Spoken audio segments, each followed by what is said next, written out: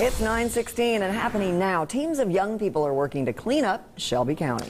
Mayor Mark Luttrell's Fight Blight teams are now in their third week of work, and so far they have picked up more than 10 tons of trash. Wow. Sam McClinton oversees the 10 teams. He joins us live now from the Bickford Community Center in Uptown Memphis. And Sam, welcome this morning to Live at 9. Tell us about these teams and these young people and the excitement they bring to this project. Well, I tell you, they're really excited about it. Uh, they're out and about right now. We're over here on Benford Road, and we actually uh, walking down here, picking up paper and blight, and it seemed to be real going pretty well, pretty well.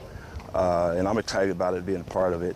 So uh, as you can see, we out and about in here, picking up the paper and uh, moving about. That is They're really excited about it, especially when it's payday tomorrow.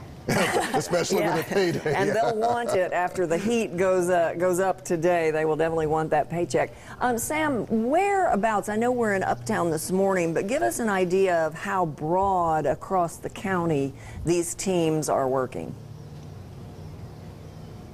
Well, you know, we, we basically got 10 groups that's out and about. Uh, right now, we're down the downtown area, uptown area right now, and uh, we got areas out in Highland Heights area, uh, the South Memphis area, uh, the Southeast Memphis area, which is out there by Riverdale and, and Kirby area.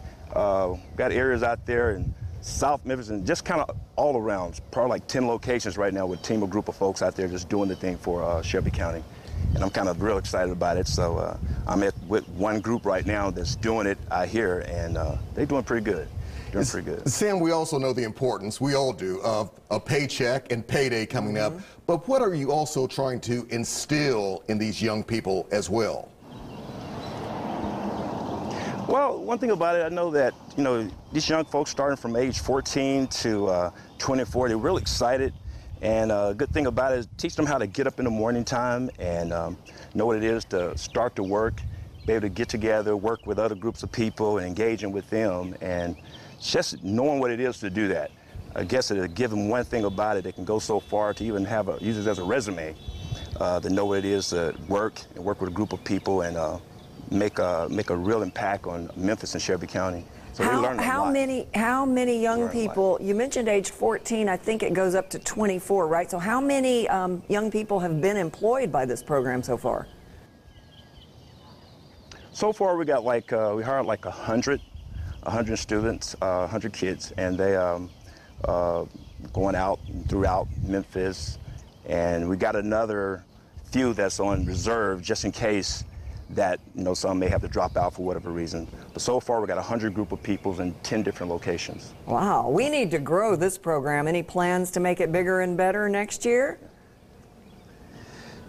Well, that's what we've been talking about and hoping that the mayor may want to do this next year. Uh, maybe instead, instead of using 100 people, we may be using maybe 200. But I tell you, it's something that uh, the kids are really excited, uh, knowing that they're getting paid. And they're starting off really well, start them off at uh, $9 an hour. That's something that is incredible.